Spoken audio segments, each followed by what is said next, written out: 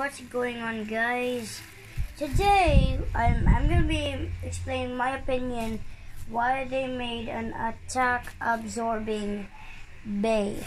A literal attack absorbing bay.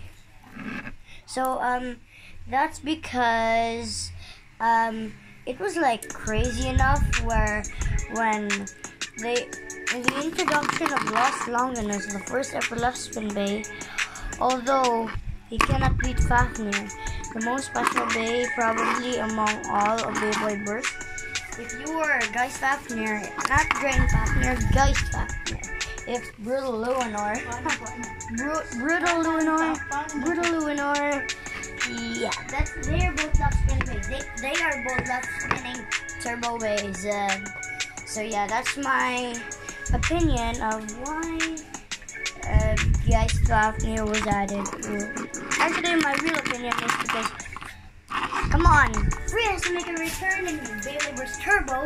But why am I talking about Beyblade Burst Turbo? That US, USA is already at Sparking and we are already at Rise. Well, that's because I've been questioning that every night. So yeah. Hope you like this video. Bye bye guys.